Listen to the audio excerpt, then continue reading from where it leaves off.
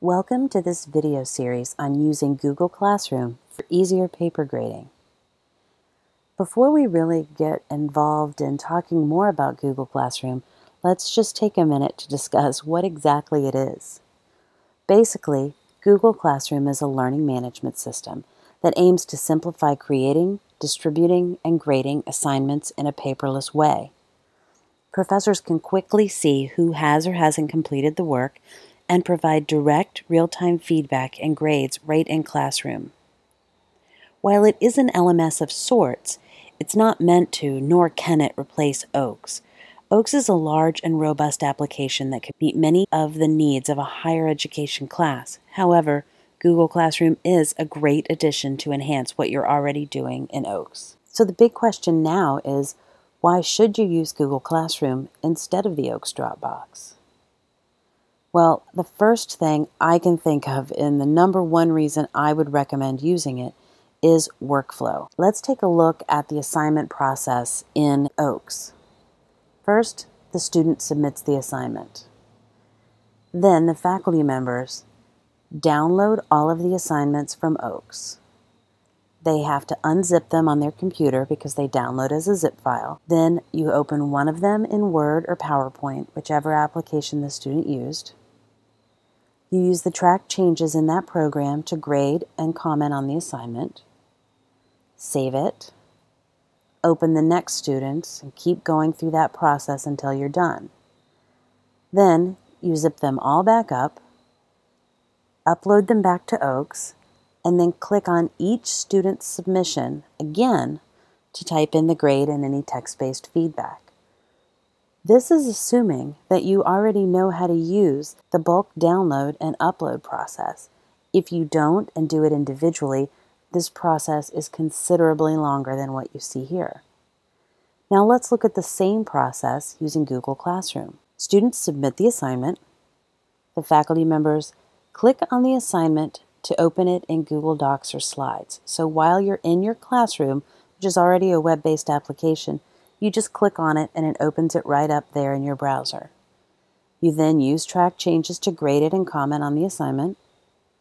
You close it. No need to even save it because it does all of the saving for you. Type in the grade and repeat. That's it. So much easier, so much faster, and unlike with OAKS, if you don't download an OAKS assignment to your computer, you can't use any of the annotations. The annotations features here are built right into the program, so you don't have to go and use a separate application that lives on your computer. It's all done on the web. It can be done from anywhere at any time. In addition to workflow, there's several other features that I'd like to note.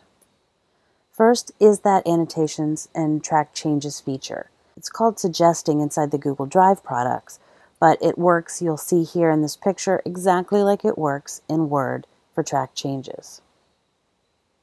The other thing is commenting. You have the same commenting features where you can highlight something and insert a comment that the student can later read. You'll also notice here that there is a reply to this comment where the student actually can reply back to what you've written. Google Drive products are all collaborative. That's not the case with Word, PowerPoint, and Excel. And to go along with this collaboration, you have a revision history. This is such a time saver when you hear from your students all the time how person X did not contribute fully to this project. Now all you need to do is check the revision history and you can see exactly who did what in the final product. So right now I hope you're probably thinking, wow, this seems really awesome. So if you want to take advantage of the streamlined workflow and the other benefits of Google Classroom, there's a few things that you should know before you get started.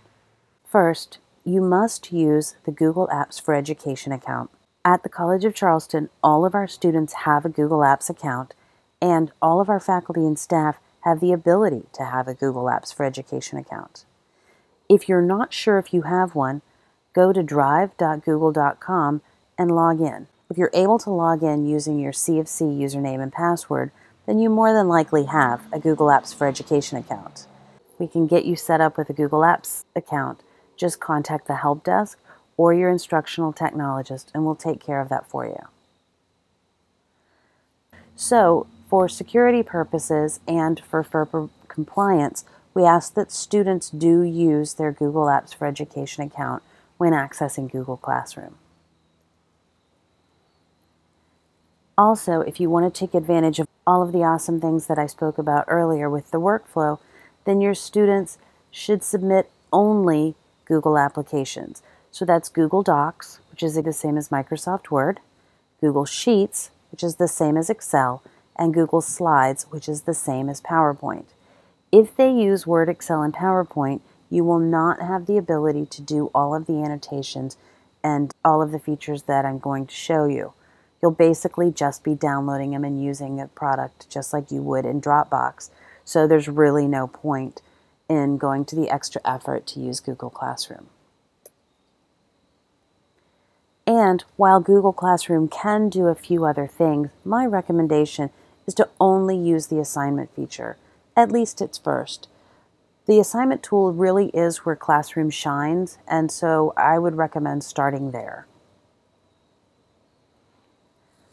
All right, so earlier I talked a little bit about the workflow, and here I want to just show it to you in a more detailed version. So the way that this is going to work and what we'll be covering in subsequent video tutorials will be that the faculty member creates the assignment.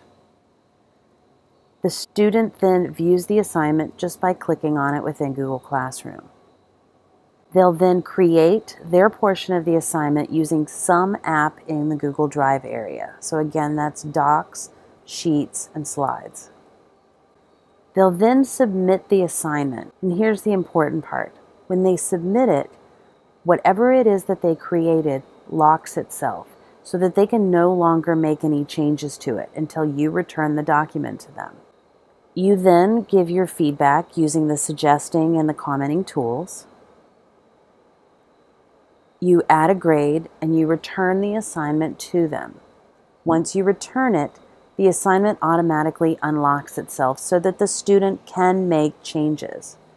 The student then can view the feedback and edit the file. And if you have it set up this way, the student then can resubmit it if that's appropriate, and the process starts all over again. Surrounding all of this is a little two-way communication feature that's almost like an instant messaging tool between you and the student to allow you to discuss this assignment. This is a really helpful assignment if you're doing some formative feedback before the final paper is due.